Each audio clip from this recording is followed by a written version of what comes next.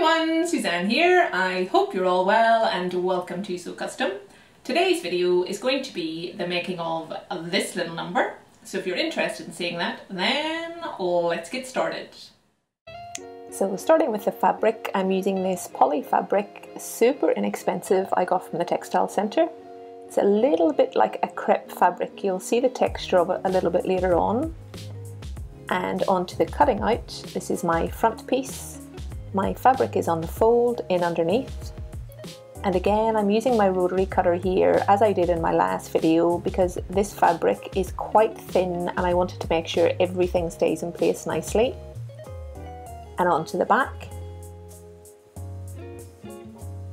And you can see just at the bottom there that I have scooped up the side seams at the bottom hem on both the front and back and this will help me out later on because I'd like to hem this before I sew up the side seams just to give a super super neat finish. Um, so scooping up the hem at the side seams helps me out in doing that. So onto the layered piece. And I made this pattern just by tracing out the front and back bodices taking off 2 inches on the bottom hem and adding a 1 centimeter seam allowance. And that's as easy as it was and that's my layered pieces done. And my last pattern pieces to cut out are the two straps. Done. And then this is the hemming I was talking about earlier. I wanted to do, or to try, should I say, a rolled hem on the overlocker, um, which is what you see here. And this is my first time doing it, and actually it turned out so nice, so, so nice. I will definitely, definitely use this method again. There is a little bit of faffing about to set up the machine at the start, but the finish you can see here is so neat and tidy, super quick, I love it. And then onto those side seams. So because I've scooped up the hem here, I'm able to French seam the sides and at the bottom the side seam won't peek out. So it's just a really nice neat finish. So just pinning the side seams, making sure everything is lined up nice and neatly. So this is my first stitch along that seam. I had my needle as far over to the right as I could get it and my fabric lined up along the edge of my presser foot. And that's how it looks. And now moving on to the layered piece. So just pinning up in exactly the same way making sure the edges of the fabric are nicely lined up, pinning along before stitching. So as I mentioned, my fabric is lined up with the edge of the presser foot. My needle is all the way over to the right, back stitching at the start and the end. And that's that done. So now I just need to trim that seam a little bit further so I'm going to take about a third or two thirds, sorry, off that side seam just to help me out. When I come to sew up this seam for the second time I want to make sure that no fabric peeks out. So you can see really how much I've trimmed off there. So in preparation for sewing that side seam again I'm giving it a nice press. I'm making sure when I press here that the seam line is right on the edge of the crease and then pinning up before completing my French seam.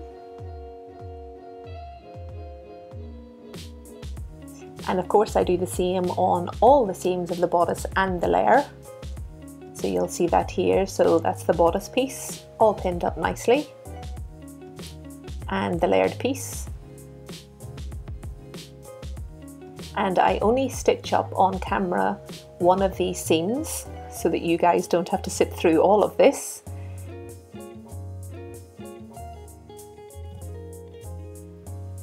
So my needle is a little bit further over to the left. My fabric is lined up with the edge of the presser foot. I've backstitched at the start and at the end, and that's my French seam complete. So it's super neat and tidy, and you can see here at the bottom, so that seam doesn't peek out at the hem. It's just a super neat and tidy finish, which I really like. And now to the straps. So I folded my straps lengthwise and I'm pinning up that edge before taking to the machine to stitch at my one centimeter seam allowance, back stitching at the start,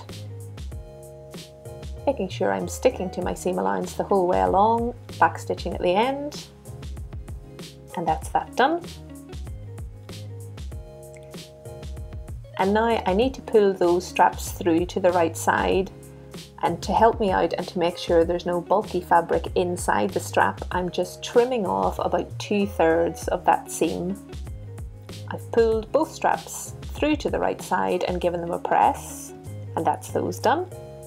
And now just to close the whole thing up, so I have my layered piece on the left hand side of the screen, my bodice piece on the right hand side.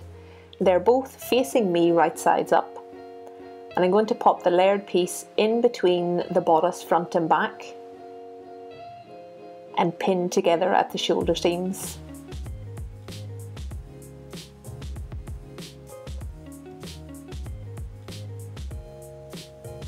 So pinning all four shoulder seams,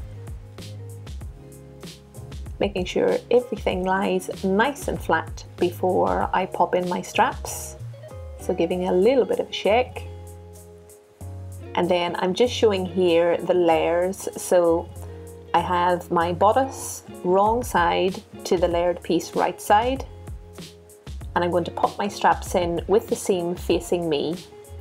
So I'm going on top of the layered piece and underneath the bodice piece. Right up to the shoulder making sure the strap lines up nicely with the shoulder seam and pinning I'm going to do exactly the same thing on the second shoulder seam.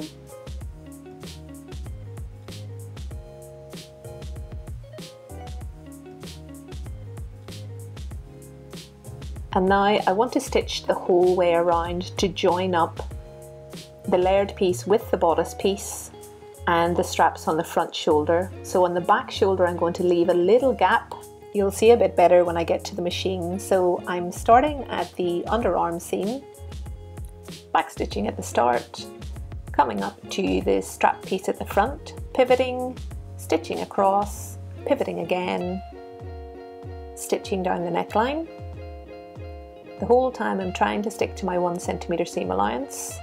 At the center front, pivoting again, up the other side to the second strap, pivoting, sewing across and around the armhole.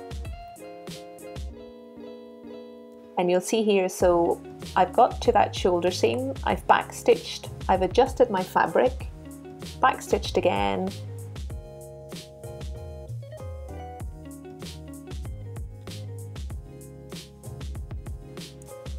pivoting at the centre back and up to the second shoulder seam, backstitching, adjusting, backstitching again, sticking to my one centimetre seam allowance until I come to my starting point and that's how that looks. Super neat and tidy. And now I just need to prepare for the understitching.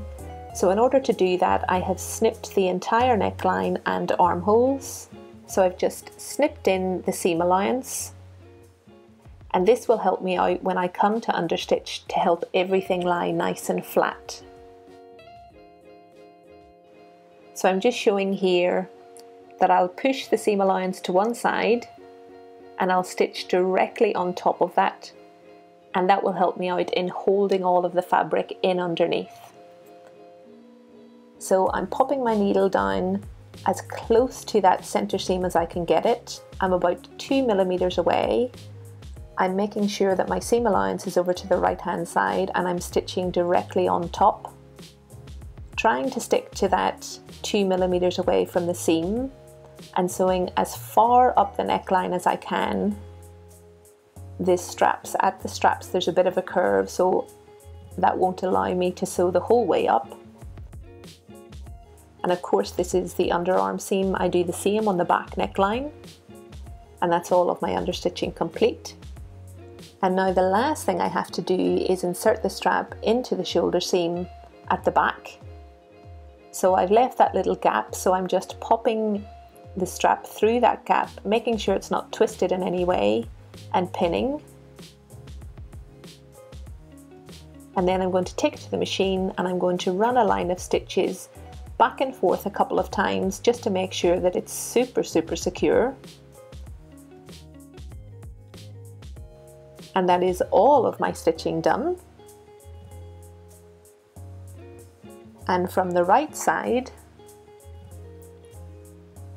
the straps are just really nice neat and tidy I really like how this has turned out so I've given the whole thing a good press and just showing here the layers at the bottom, which I love.